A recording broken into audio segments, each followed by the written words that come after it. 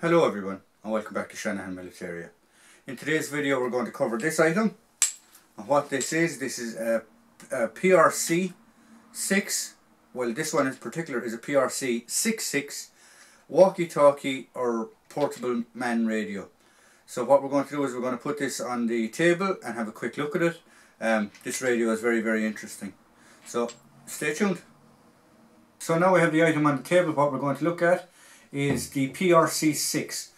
Uh, common enough uh, radio that was used for short range communications from its introduction in the Korean War or just the start of the Korean War all the way up uh, till the Vietnam conflict and I believe the Marines still use this up until the late 70s.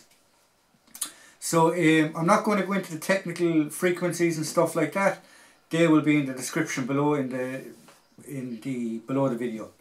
So I have the aerial here, um, as you would see for its storage type, it's literally just hooked into one of the hooks. Now this radio has a, a it's very interesting, so I'm just going to free the aerial. Now, so that's the aerial freed. The aerial itself, um, from tip to blade, just to this uh, little piece here, is 21, 21 and a half inches long.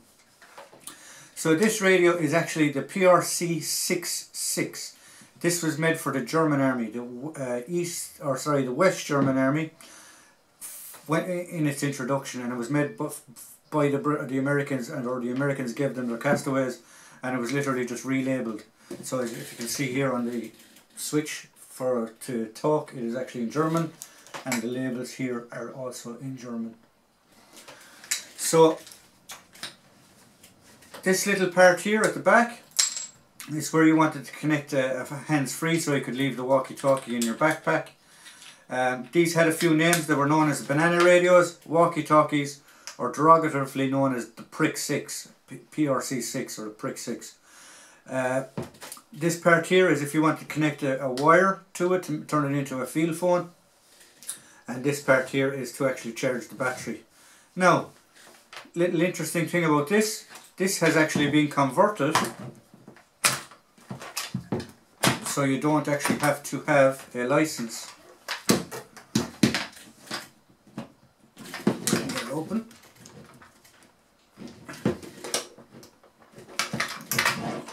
I can remember it open. There we go.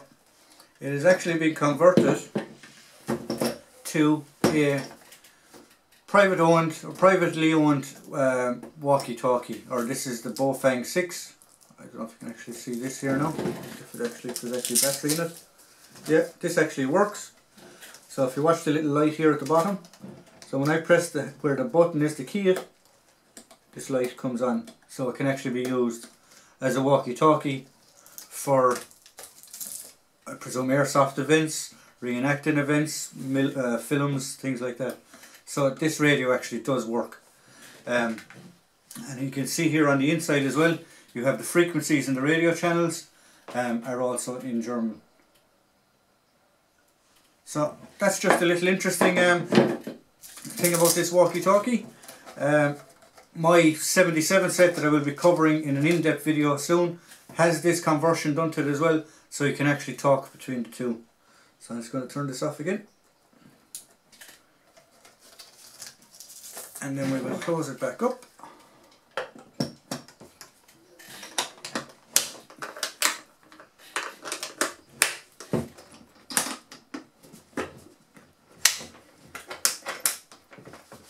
And that's it.